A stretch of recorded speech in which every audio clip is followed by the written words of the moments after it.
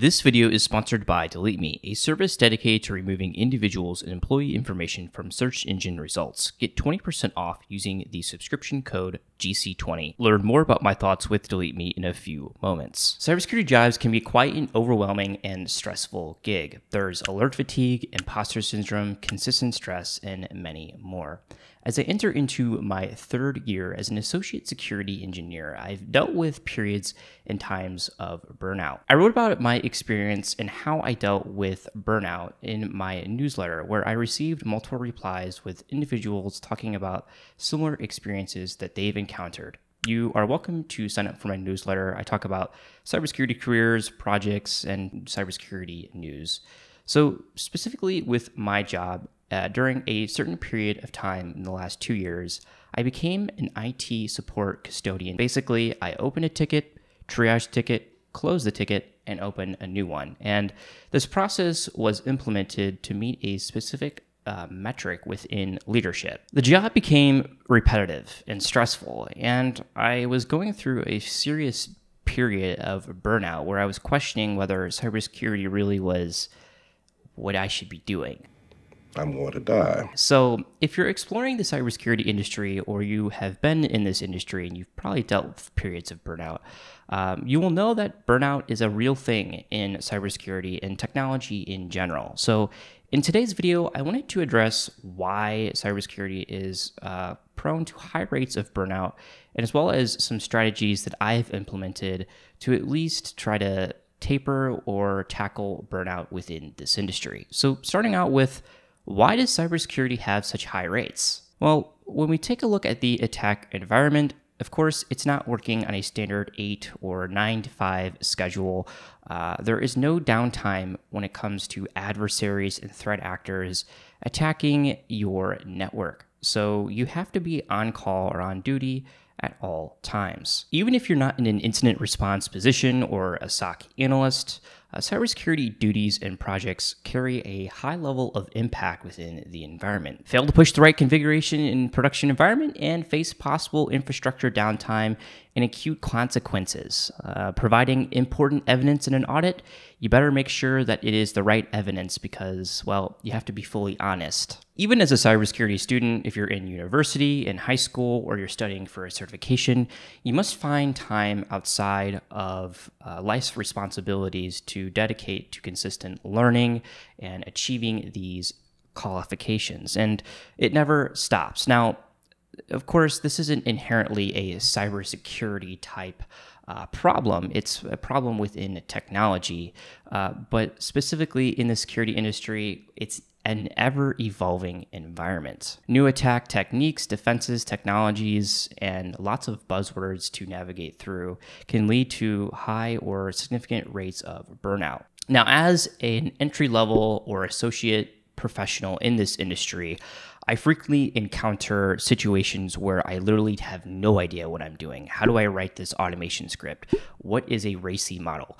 Uh, how do I know which or right information to use when reporting a vulnerability? If you feel like you're in this situation as a security student or even as a security professional, well, I'm here to say you are not alone. A quick segue into today's sponsor, Delete Me. So, we all know that personal data is the digital gold in today's ecosystem. System, we have big data brokers, big tech companies, hackers, and many more organizations that are trying to collect all of your personally identifiable information so that they can profile you. They can perhaps, for if you're a hacker, dox you or target you with spear phishing campaigns.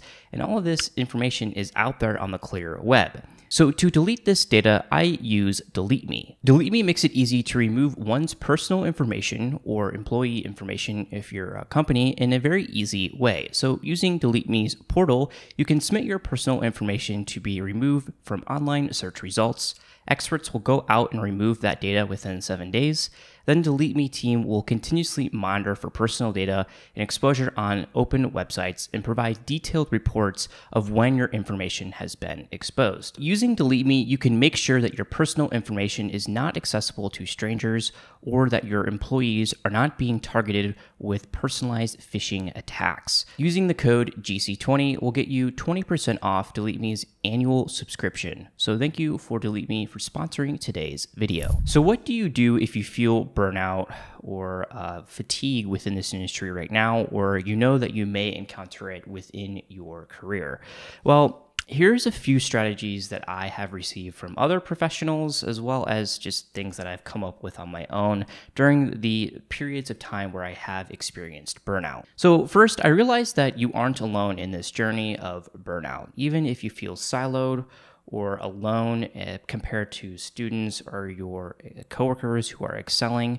Uh, there are many individuals out there that are experiencing fatigue. Oftentimes, entire teams in cybersecurity departments can feel fatigue based off of uh, security enablement and culture.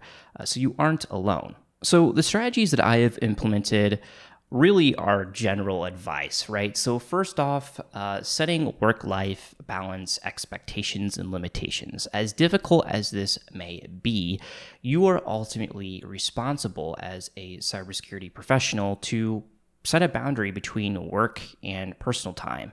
And so, one thing that I've done is I attempted to set or block uh, my working hours in my virtual Google Calendar. And then I just stay consistent to that work life balance, especially if you are entering into the industry. I understand that you want to make a good impression, uh, you want to be a valuable team member, but at the same time, you need to recognize uh, your own mental health and work life balance. And that leads me into my second uh, strategy, which is pursuing a, a, hobby outside of security. As much as security is a fun, uh, informative, ever evolving industry, oftentimes, you know, if it's just your world of security and that's all you have, you can feel periods of burnout. At least that's what I felt in the past. So sometimes I binge watch shows or, I don't know, read a book, whatever you want. But uh, make sure that you have at least one hobby outside of security. And I know that's I'm stating something of rather the obvious. The third is changing your environment. So this advice may seem rather redundant, but if you have an environment which doesn't support you and your mental health, it may be time to change that environment. Whether it's um, having an honest conversation with your superior, your boss, moving to a different position or lateral movement within a company, uh, or an entirely new position. Uh, during the times of period of burnout, for me personally, my environment change was having an open and honest conversation with my boss about the work that I was doing and uh, how I felt contributing towards the team or lack thereof. And uh, there was good conversation uh, surrounding that, and it helped me implement a better work life balance. And then finally, what I've done in the past is I've connected with others. So if you're on a team, connecting with your coworkers, not necessarily in a way of complaining, but just uh, saying how you feel, or if you have friends within this industry, reach out via DMs or text. The InfoSec community really is a very supportive community, and, and just tell them how you feel. And I think that a lot of experienced professionals will feel or resonate with you. Sometimes human connection is really all you need to uh, feel validated. I fortunately was in a situation where I had some coworkers who were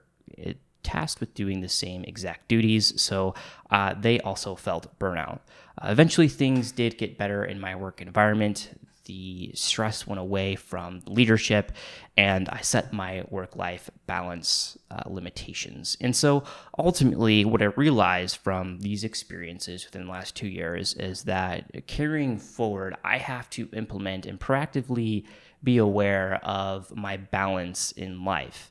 Um, burnout in cybersecurity, it is a real thing, a real challenge. And there are a lot of challenges that one must face within this industry. And I think burnout is probably perhaps one of the uh, items that aren't talked about very often. So being aware of how you feel or whether you're feeling fatigue is important. And I think that uh, take a check within your mental health with how you're doing and make sure that you are setting that work life balance expectation. So, hopefully, this video can resonate with you, and one or more of those strategies can be helpful.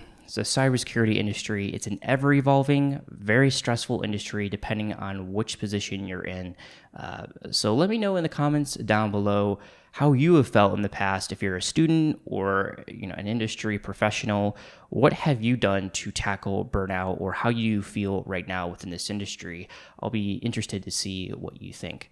So until the next time have a good day and well yeah keep learning keep working and persist oh gosh the generic advice